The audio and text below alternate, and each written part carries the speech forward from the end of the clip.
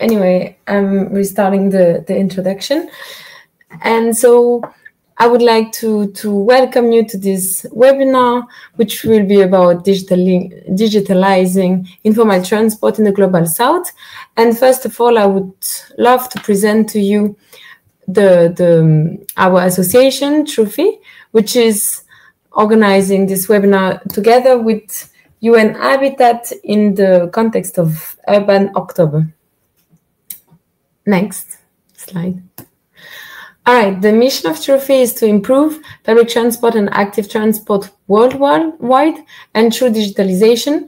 So the idea is more or less, actually, we do focus mostly on on on developing countries and also on cities of developing countries trying to improve their public transport uh, network by, or at least trying to improve the experience of users by improving those um, information given through about public transport networks.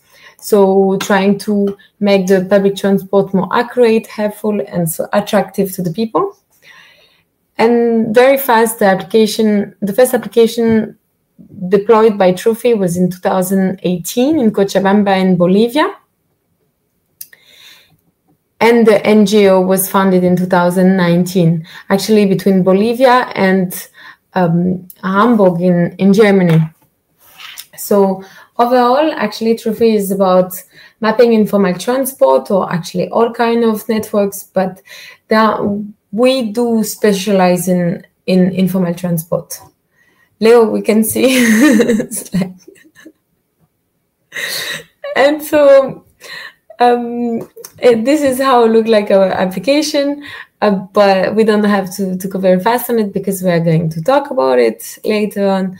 So maybe you can pass the slide, slide, Leo. It's just simple um, trip planner app with the exception that it's um, quite it's not live and it has different level of integration but actually i will discuss it later on in my presentation at later on anyway so Trufi has projects around the world. The one which actually already deployed are in green. So Cochabamba in Bolivia, Duitama in Colombia, Accra in Ghana, etc.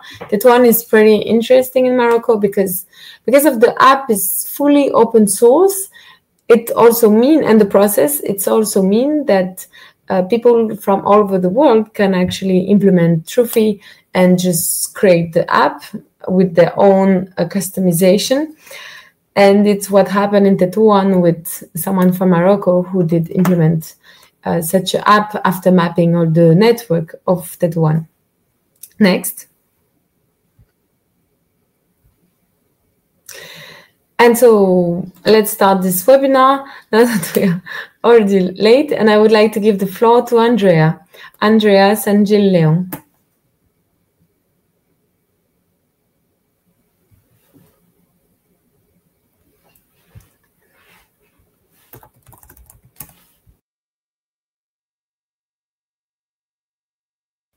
Everyone. Can you hear me? I hope I hope it's a yes. Can one of the organized uh, organizers confirm? Yes. Okay. Perfect. Um, well, first of all, thank you so much to TRUFI for the space to to share a bit about the Global Partnership for Informal Transportation and what we do. Um, I'm gonna give a brief info about what informal transportation is, an intro, sorry, why it's important and things to keep in mind when we're thinking about digitalization in this sector. Um, TRUFI will give amazing examples of what they're doing, but I'll give a little bit of an intro about digitalization in general in this sector.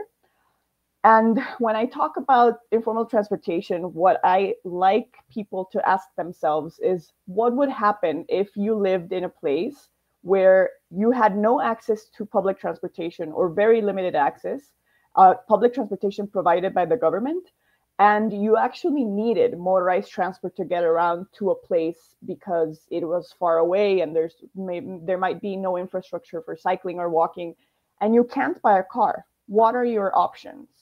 And this is the reality for millions of people around the world. And what happens if this is their situation? Well, all of these appear Boda Bodas, Ojeks, Okadas, uh, different people that start providing transport services.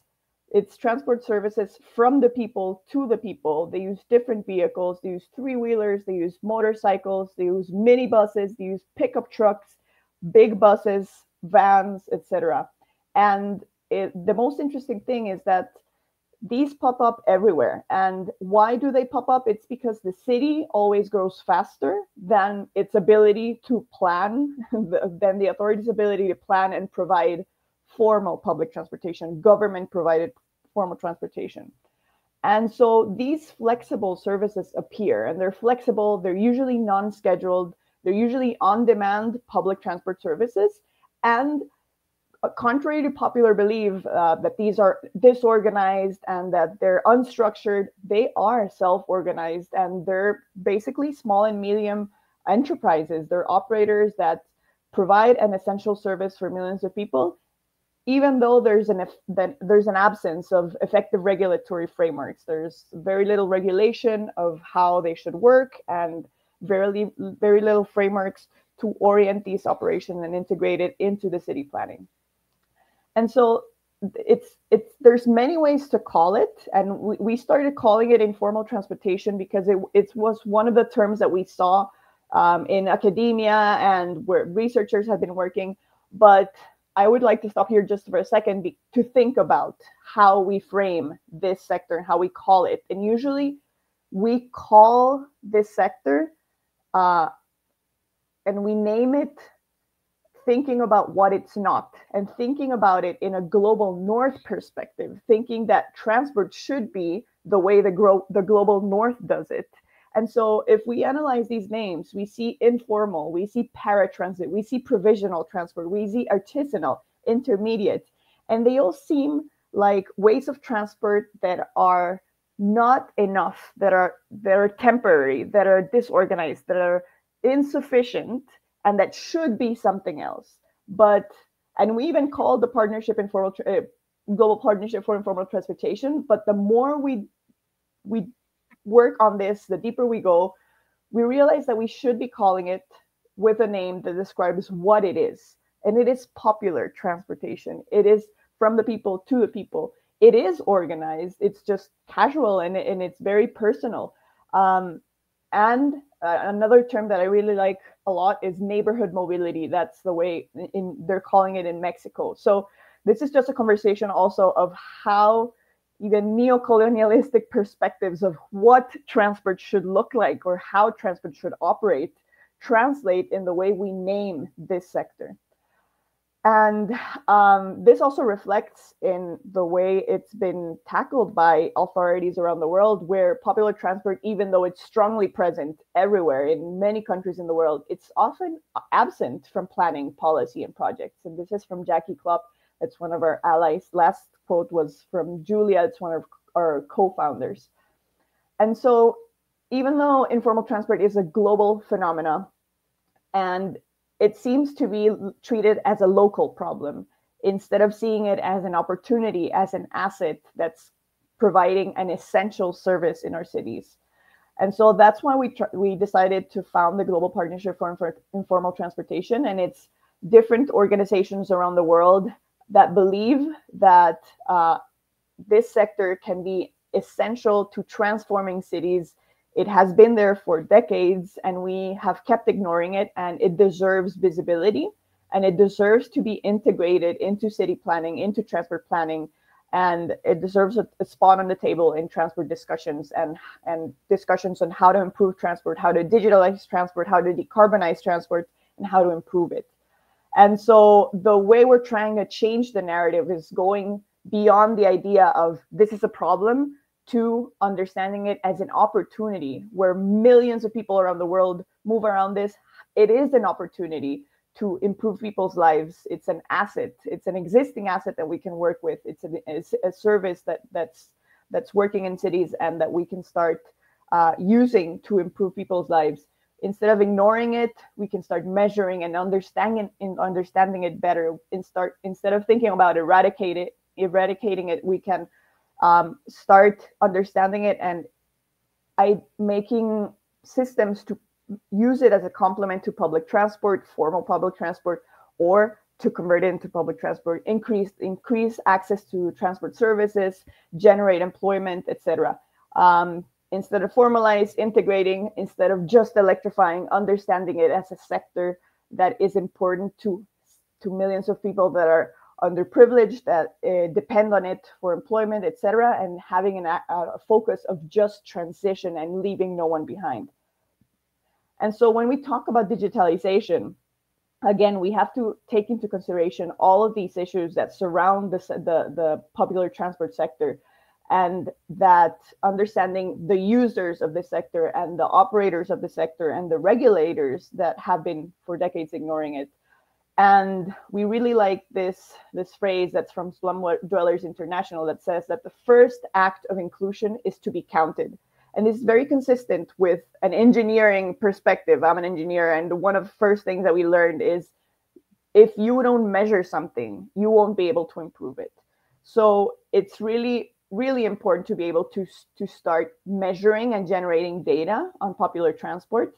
And we one of one of the greatest examples is when people have been able to generate data and map in, in, popular transport. And you see, if you see these two examples, it's really interesting how if you start mapping or if you have a map of formal transit routes, uh, government provided public transport routes, you see a lot of gaps in that map. And you would say, how do these people get around? We're having issues connecting these people, uh, providing access to transport services but some somebody already solved that.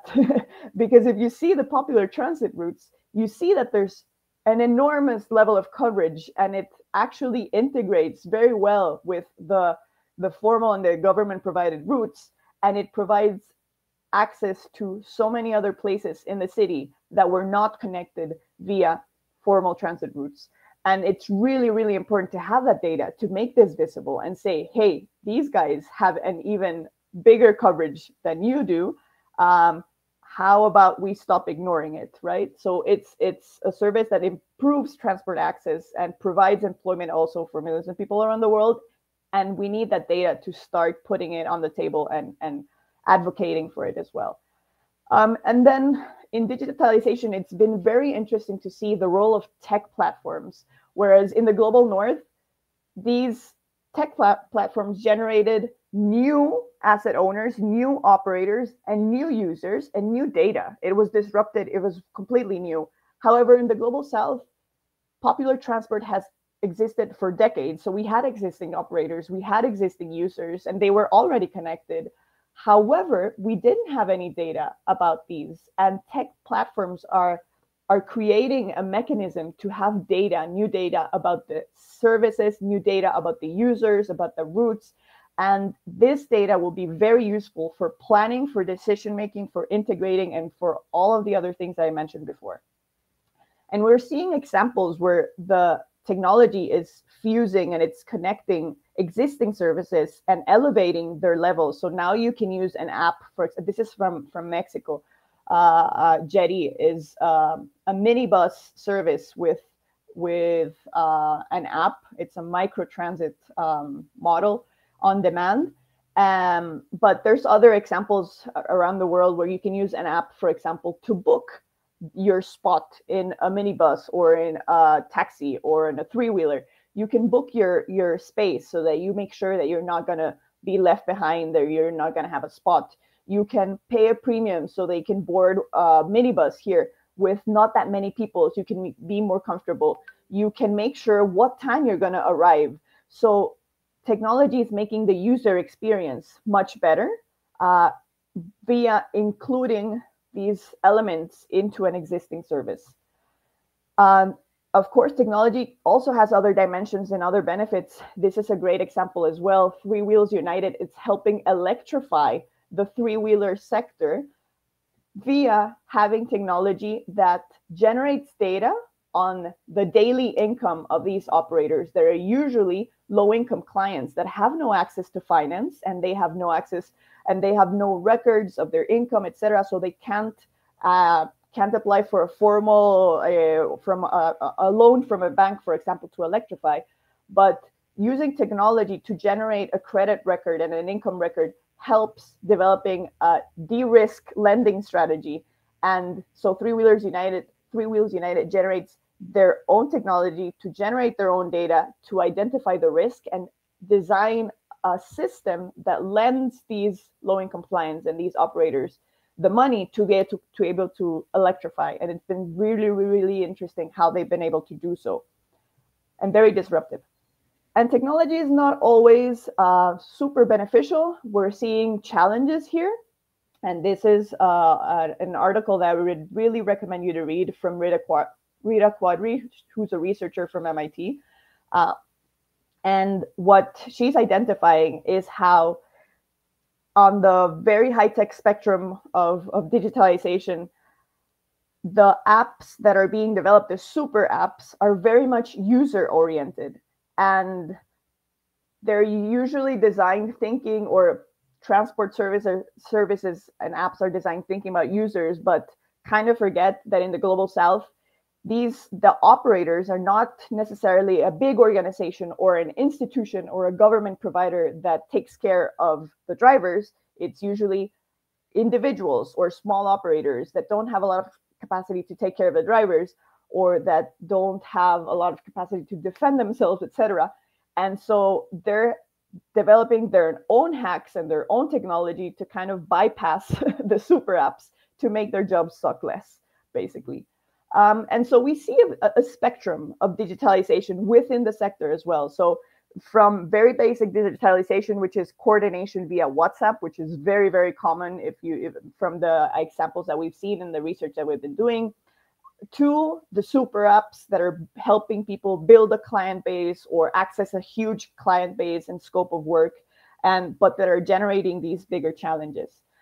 And so we've seen those pros and cons where digitalization and technology is enabling and facilitating coordination, communication. It decreases uncertainty for users about time, fees, about where the route goes, where I can access these services, etc. It, it improves traceability and safety by knowing who is taking you and who is driving you and what their record is, etc um, it is generating data that's useful for planning. And this planning applies for transport planners in cities that now could access this data for users that need to plan a trip or decide how to, to go from point A to point B. Um, but even for drivers and operators, um, when they can start seeing trends and information of what how the demand is working and how they can better plan their days and, and, and their service provision. Uh, better access to finance, as we as we mentioned, the data is helpful to generate information of how the sector works and how their income works, etc., and an increased client base. However, there's challenges. Uh, drivers are now facing fees to access these platforms, um, an income that is now not immediate and daily and hourly. It's now maybe every every two weeks or every month and so they have to they have challenges because they were used to a daily income. It limits self-organization. That's one of the challenges that Rida has been talking about as well. How now they're gig workers and not a community of people that's providing a service. And, and there's other dis- disruptions that digitalization is generating on organization and association of drivers and operators but also of users with drivers that you can look into as well and again, that user centered approach uh, via technology works when there's an institution that's taking care of the operators and drivers as well. But if it's not, then who takes care of the drivers' uh, rights, their drivers' needs, the operators, etc. It has to be a balance. And uh, just as as a closing, it's really really important if we start digitalizing a sector that we consider for what what problems do we want to solve? For whom? Who are we directing the solutions for? But most important is who might be left behind when we do this and how can we address this? We have we've identified different challenges. The good thing is that they they can they have been identified and we can start addressing them and working with them um, but it's just things that we need to keep in mind when we when we work on digitalizing the sector so that it's truly inclusive and we don't replicate mistakes that we've done in the past um, on on digitalizing um, different services for people who use them. So thank you so much, and he, here's my my my information in case you you want to follow any conversation, and I'd recommend uh, also following our newsletter that's Pop Transport uh, about informal transportation around the world, what's new, who's doing what, and what's interesting to follow. Thank you so much.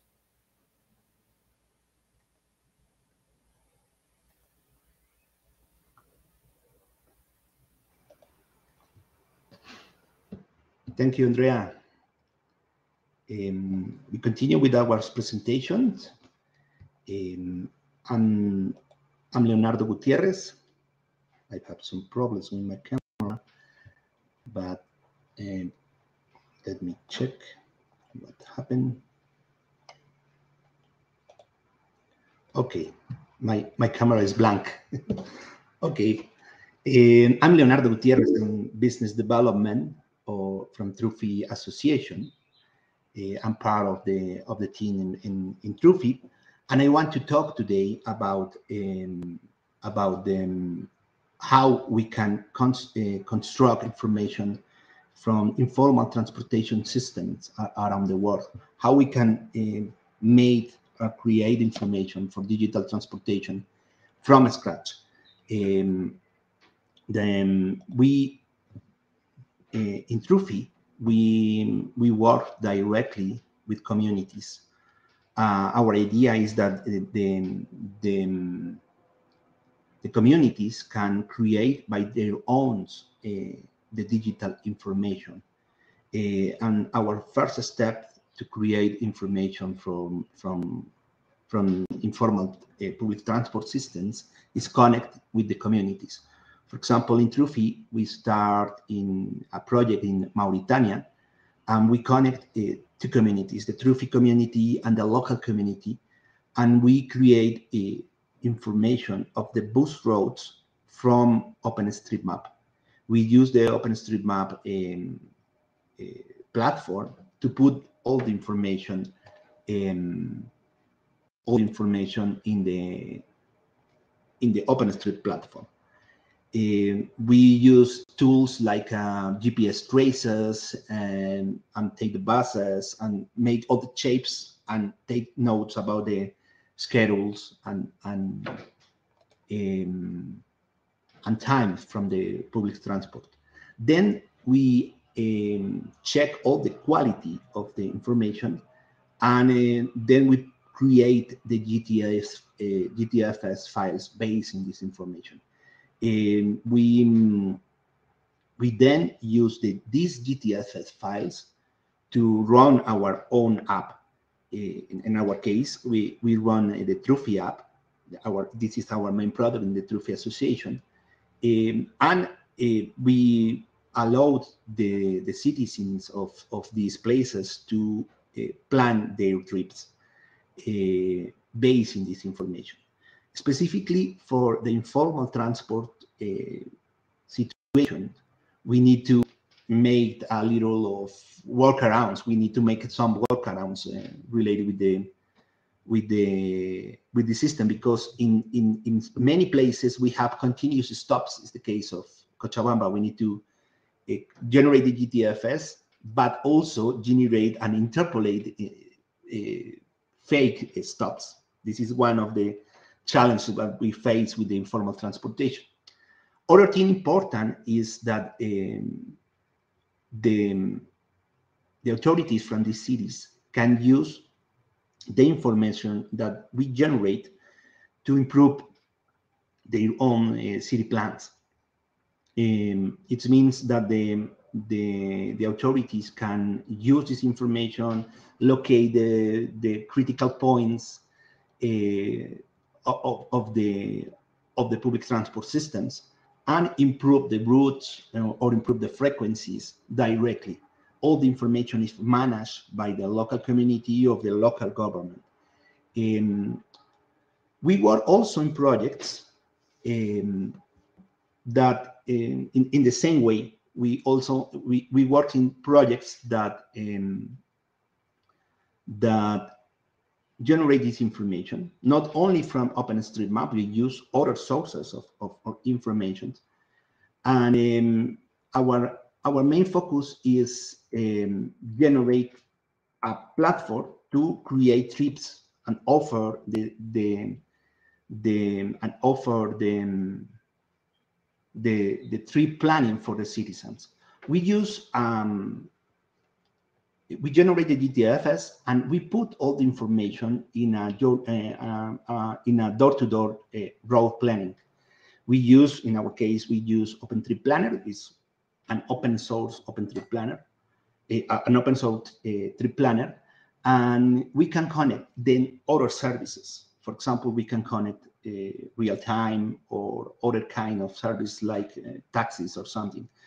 the cities not only have an app Standard App can also have a, a complete information of, for the entire system in one platform. The citizens, uh, the, the, the cities can use this platform like a central of manage all the bus or, or public transport.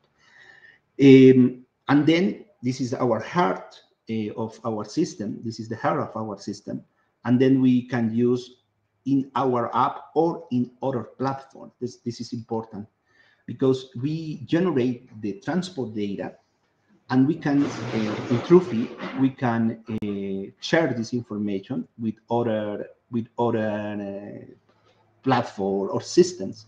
For example, we in, in some project we we generate all the data, and this GTFS format is shared for all the communities in an open data in, in an open data way. We release this data and we we prefer obviously our app, but we, but any app can use our our data.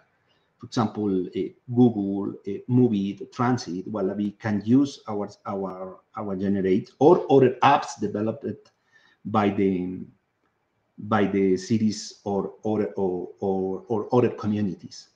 Uh, we we are uh, our policy is share this information for everyone uh, freely. Um, what is the future of the of the of the digit uh, of the data digitalization of data in, in what is the next step? We um, we are now focused in order in order in in in in other approaches of the information. One is a GTFS Flex. Is this is a standard is now in, in development, in, but this standard allow us uh, directly, without any workaround, works with continuous stops. This is especially important for the uh, informal transportation systems because have special special conditions um, and we we in Trufi we focus and, and, we are learning how how we can integrate these uh, these new uh, data standards. Other important thing is the on-demand service. Uh, this standard can integrate not only the uh, fixed route system or informal fixed route system, uh, we uh, we can, but also we can integrate other system on demand. For example, taxis, uh, tuk-tuks, these kind of things, uh, we can integrate with the formal, uh, with the formal, or with the fixed route system, and integrate these all the trip in one in one planification. Other important thing that I think is important for, uh, especially for the informal public transport systems is uh, the real time uh, the platform OpenTrip Planner, we can uh, can integrate real-time data uh, directly to in the same platform, and we can calculate um, the estimations for the for the users of the public transport system better uh, using the, the real-time data from the from the formal public transport vehicles. This is this mean it, it's uh, this is very important especially for example in cities that have uh, problems of security, for example, because uh, the, the people can, the people must uh, stay in a probably dangerous place, waiting the bus, uh, and somebody, and sometimes you don't know if the bus come or comes later, it's it is is possible give information in real time to the user, even for informal public transport systems, to to avoid to staying in a in a dangerous place or in the streets. We we, we face these problems, sadly, in, in, in some countries. Um, uh, another important thing that we can integrate to to, to our to our uh, platform is the payments. This is one of the next goals: is in, in, in, is uh, integrate payment systems to all the all the all the network. Uh, for example, uh, we can in some point um, think in a, in, in a in, in paying only one ticket even if you use two informal vehicles, but you can use you can pay only one ticket. We can we, we can do that uh, do that with our technology. Um, that's that's all, and I hope uh, is uh, you can uh, know about a, little more about how we can we work in in in Trufi. Uh, thank you for your attention.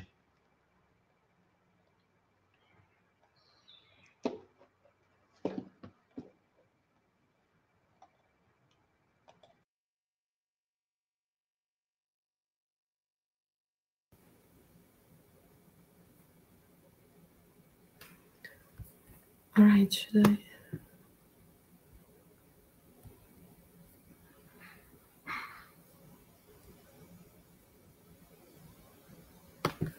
All right, I share my screen. Can you see my screen? I hope yes. All right.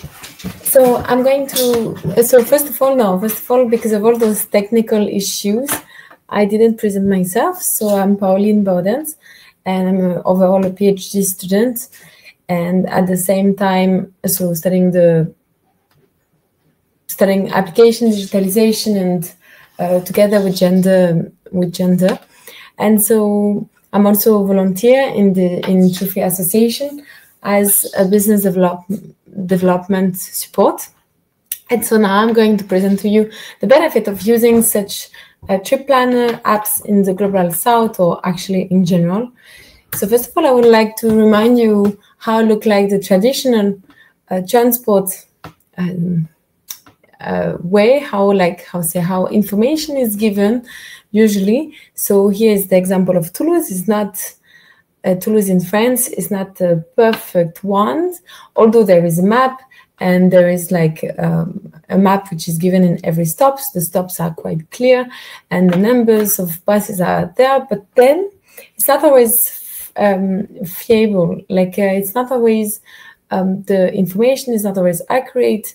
And um, I also get the the example of Pune in India, which there is also like less information is given there is no map. The numbers are also written in marathi so for me to, to move actually in the city is pretty hard. Um, if uh, at least for anyone who don't know marathi or hindi language i would love to to give you the example of tallinn in estonia where actually the public transport is very dense with buses trolley and trams and the information given is very um, clear and very fiable and um, reliable. Reliable is the important and accurate important words. And so, actually, if the information given is very good and very accurate, the application is just an option. But since um, it's not often the case in most of cities, then indeed the app uh, app is needed in a way that it can fill this gap and also optimized. So there are two ways. It can fill the gap because the information is not there. It can also, so this is more the case in Global South cities, but it can also, but not only, and it can optimize also those information. It can, I can show you later, but it can, um, indeed, it can improve so it can optimize in a way that you can better plan your day because you know when the bus will come, exactly when, and also when you will arrive. But this actually depends on the level of information of integration the application has, the application that you are using. And one thing also to understand, because first of all, there are different level of integration. Um, Trufi is quite low in the level of integration because we mostly work with uh, develop emerging cities, and those cities, um, as we say, we work mostly with uh, informal transport, so it uh, how the information is not always accurate. We need to create it from scratch. So it take longer time to, of course, go to a more um, optimal system with like more complete system with the payment integrated. Also an application in which aggregate all type of operators uh, which are in the city. And this really, yeah, you just need to understand that actually there are different level of integrations. And also that all this concept of MaaS because we actually call this planner app MaaS mobility as a as a service is actually also a concept which has behind which is bigger than an, a simple app. Is of course the app as the front end but it also um, an aggregation of different operators and uh, integrating all the all the mobility modes through aggregate aggregators, which also require the, the acceptance of all operators in one city to be part of this application and to share the information. And here you can see different usage. So I took the example of Cochabamba in Bolivia and the example of Trip Planner, no, Citymapper which is the app which is um, mostly used in Paris at the moment because it's pretty accurate. And the difference of those apps are actually the usage, first the level of integration, but also the which bring the different usage. In Paris, people use the app to actually optimize the trip, to actually know when they will arrive at the destination. While in the case of Cochabamba, they will use the app in order to know which bus to take and especially in times that they don't know the destination they uh, they know the destination but they don't know how to reach there. So that's really different uh, way of using the app and related to this level of integration.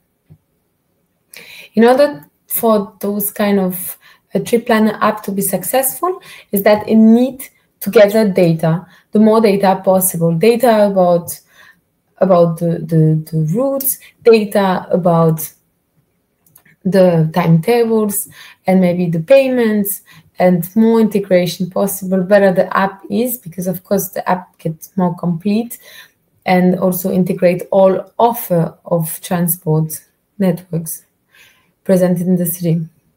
So there is big importance of data.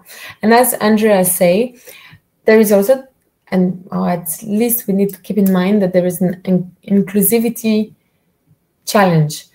Because especially in the global south those apps how say the rich the richer people they usually when they are when they have the opportunity they will actually get a vehicle their own vehicle because it's more convenient to move. They don't need to depend on public transport which is not reliable enough and the poor people they're actually maybe not using the apps or they don't have the the um, uh, they're not digitally illiterate or they don't speak the language because for example in india the MaaS application is maybe there is Chalo, but maybe it's in English or in Hindi. But if you talk another language, Marathi, then it gets complex. And so there is, we need to keep in mind this inclusivity challenge as like um, a big uh, thing to to to think of. And um, another benefit that I see, or that there is from those application, those collection of data overall, is that we can use the data to actually benefit for authorities. They can use it through dashboard to analyze the public transport network and then to understand where the data is missing and or at least where the people are actually not able to to to to reach destination because it requires two three transfer of buses or or I don't know like can be any anything which get complex and so this kind of information can be definitely used by the authorities as I mean to improve the public transport network. So thank you, and I would like to um, ask my my colleagues, um, Luz, it's Luz who will present actually further Cochabamba. Thank you. Uh, hello. Well, I'm Luz from the Choque. So, okay, here is my presentation. Well, um, I am responsible of Trufi App Cochabamba. So, well, right now I'm going to show you how uh, this app begins or this project begins began in my country. And also i'm going to tell you about my a little bit about my country first. Well here is. This is my city. And well this, it is one of the three main cities in my country bolivia. And the population is more than two millions. But uh, well to start this project, we, we were focused in Cercado, that is uh, uh, the uh, the main pro province of my city, and it is the uh, we decided to start in the metropolitan area, and here we have more than eight hundred thousand of population, and the 50% uh, uh, use public transportation. Then, well, here is about a little bit about the public transportation. Well, as you know, in my city is uh, informal public transportation, and well, we talk about this. And in my country, they are organized by the syndicates or the unions and well the government don't have uh, control about this. Um, we just planning the roads and all of those things uh, but uh, by user demand. And well we don't have a documentation of, of lines and that. And well in my city we have this type of they are the um, microbuses, uh, minibuses, and we call them TRUFIs that uh, stand for fixed road cuts. And well, they are. And well, uh, they are to uh, end-to-end transport av availability city. Then, well, here is our first uh, picture of our team and how we uh, began. Um, well, uh, as we told, we, we work we work as volunteers, and uh, here we see uh, the volunteers for Germany and we from Bolivia, and well, uh, we we start with two teams. Maybe we can say that uh, one of the teams was, was the develop teams and the other was the collection data teams. And well, this part was the hard part, maybe for us, because, well, in my country, we don't have an official public information for that. So the collection was hard. And um, we tried to get all the all this information uh, first uh, from the things that we know, the roads that, that we know. And then we try to talk with the people, with the drivers, also with the syndicates. And well, that was uh, our way to try to get all this information. And uh, then when we got all this, we digitalized of uh, the roads and we decided to use OpenStreetMap because uh, also we noticed that in OpenStreetMap we have uh, the information more uh, updated than Google Maps because uh, some, for example, some names of the street were in uh, in OpenStreetMap but not in, in in Google Maps. So yes, we saw that it was a a good uh, way to to have the the information here and also well as uh, uh, Leo told that then we use this information and then we we got all this and used in our app. Well, the, it was the result, and in 2019, uh, we got more than 200 uh, roads, and we put all of them in in OpenStreetMap. Then uh, we launched the, the the app, and well, it was it has a good acceptances uh, in the media, in the local media, and it was good. Here we can you can see uh, that in that time um, all the roads. And the, it is that we have currently, uh, well, this year in March, uh, we update the app and uh, it has new feature right now and we we have more more roads and we decided to include two, two provinces that that they are important. In my city we we add uh, Quillacollo and Sacaba and right now we have more than uh, 400 uh, roads.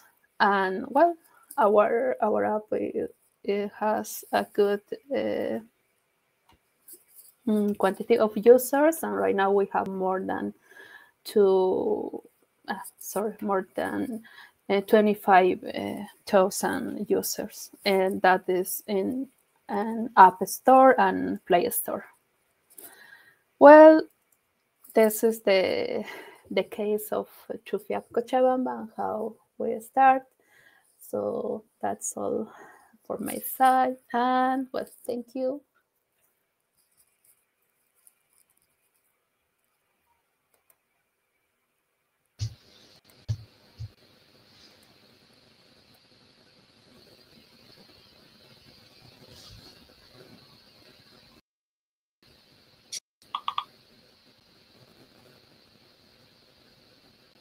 Um, hello, everyone. My name is Angela, and um, I am here to make a presentation. Just a second.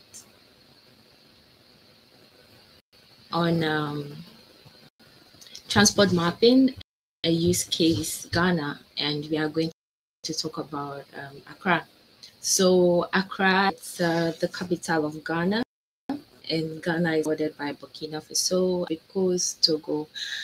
And um, Ghana has a very interesting uh, transport dynamics. And uh, we have Trotro over here that is very um, unregulated by the government. And they started making efforts by 2015 to make sure it's being regulated. And then we have the BRT, which is the um, Ayalolo bus, which has gone through several um, reforms over the years. So um, the government wanted to know what is going on in the transport industry, hence the need to do digitization. What happened was that um, there was a project called Accra Mobility that was digitizing the routes and the bus stops, the terminals, and everything in Accra to give the government an idea of where these terminals are located, um, the frequency of the vehicles, uh, which routes are, um, are in the city to inform them of decisions. So this um, it's a result of uh, the mapping that was done is the bus route in Accra. And uh, this information, this data is free and open source, and it was the um, foundation of the second project called the Ghana Urban Mobility Project.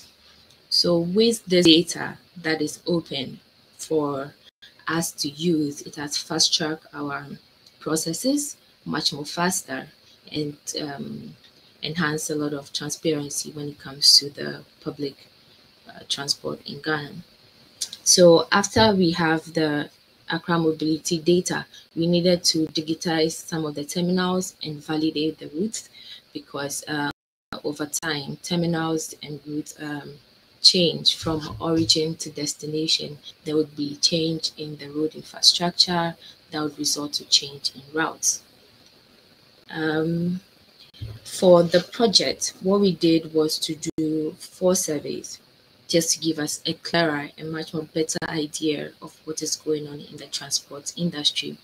We did the identification survey where we went to every known terminal in um, in the metropolitan Accra to identify the routes, where the cars are going, where the origins are, and uh, the destination of the various terminals and the people that are operating these terminals. This is very important because um, the trotros are being uh, operated by private organizations. Hence, it's important to have information about them. So now that we want to reform the transport system, we know who to talk to and etc. For the frequency, we wanted to know um, how often the routes are being plied in routes. So, for example, for Terminal A, you want to know um, how often the buses to a destination is taken. That will give us an idea of the commuting of people from one place to the other and help us do a lot of observations and analysis that I'll discuss later. We also did onboarding.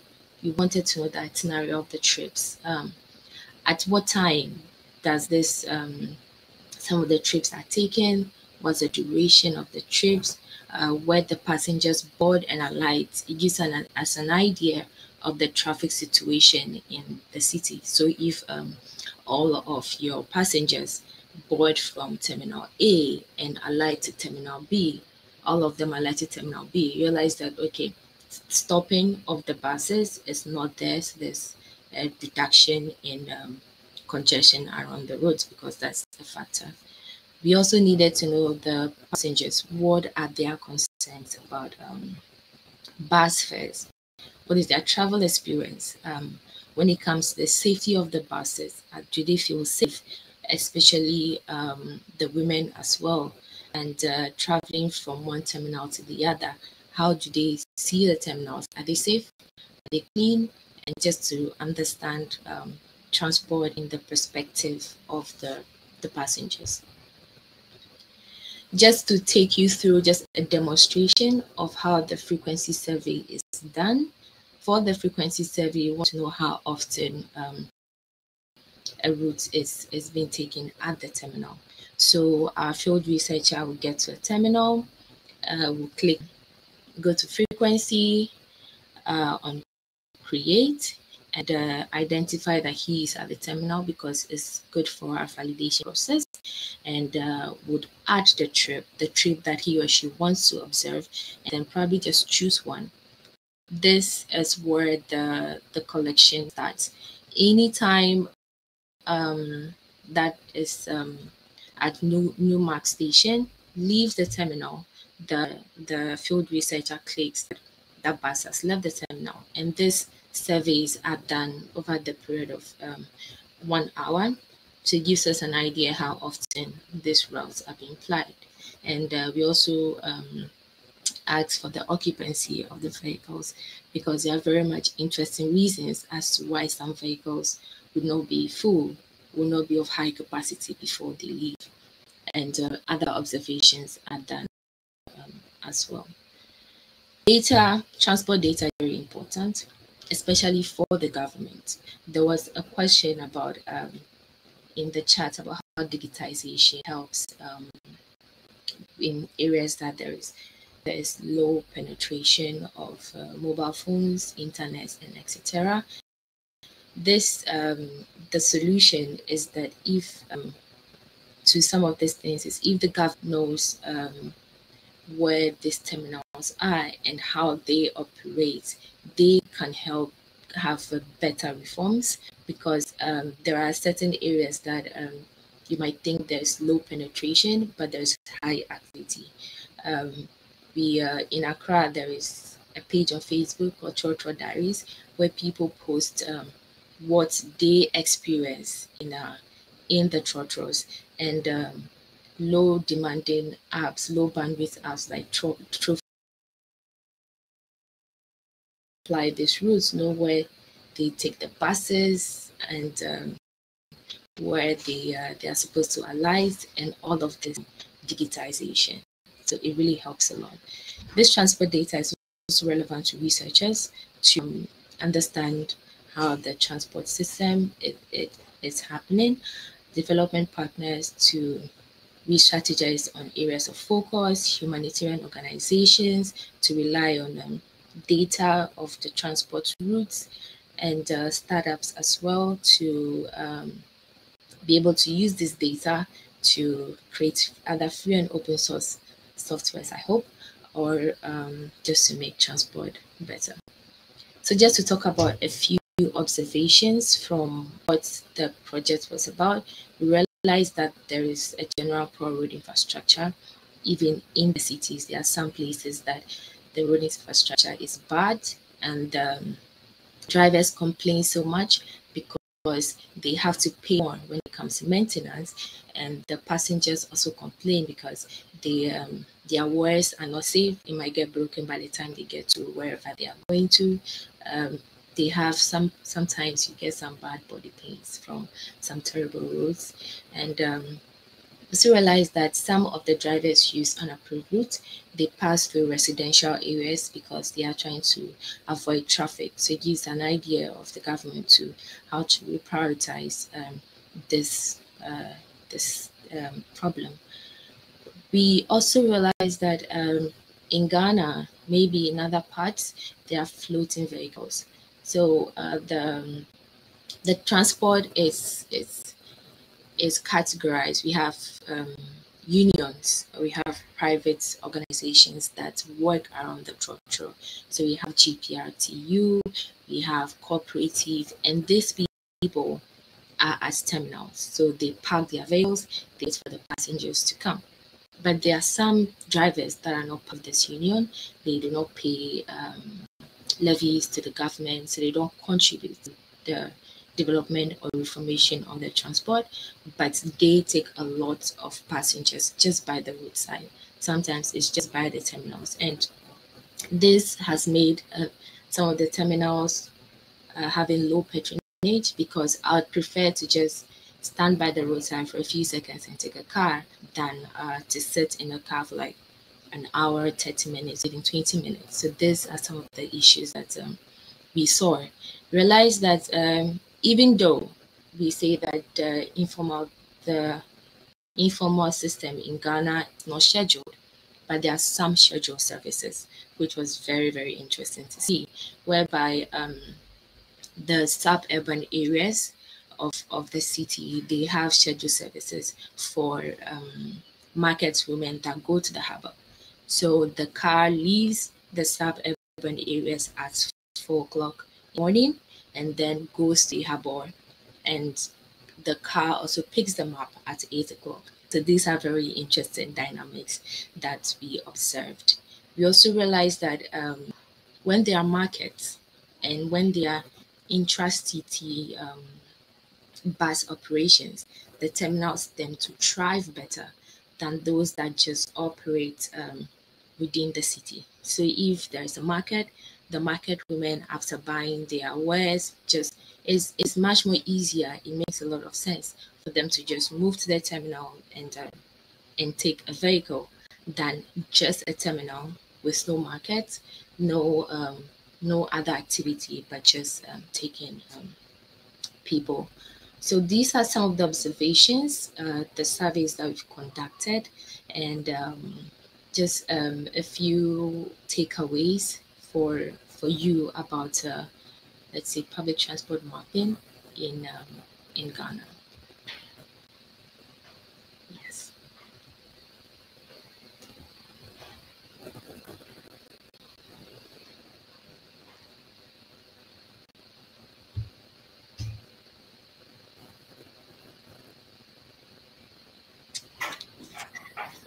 All right, so we go through the questions. So we are a bit out of time. So we are very sorry for this technical issue, but um, I will just um, read the first question. So from Vivek, is there a way to use all of these wonderful data collection exercises to prove a simple concept, namely that people in similar places make similar trips and this is a question for Leo. Thank you, Pauline, and thank you for the question, Vivek. Uh, yeah, is is precise that uh, we we we can allow to authorities. Uh, we our focus our our goal is make this uh, available for any place that you can uh, you can obtain and own all the data produced by the users and uh, use the the patterns of of the use of the public transport networks to improve the all the um, all the public transport system. For example, change the routes in the uh, in the places when need more offer, or move the routes when they need less offer. Is precise, and and the idea from Trufi is um, that the all the um, all the authorities or the local communities uh, have the power of this information and belongs and, and how the, the ownership of this information. Thank you, Pauline. All right, I think we can stop there. So I would like to thank you all to have participated in this uh, in this webinar. I hope you really learned something. We did actually. I did actually. And um, yeah, I thank you all and I wish you a very good evening. Bye.